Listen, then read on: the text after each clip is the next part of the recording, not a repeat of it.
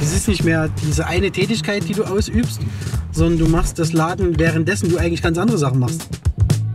Man hat schon ein bisschen mehr Zeit dazwischen, die man aber sehr gut effektiv nutzen kann.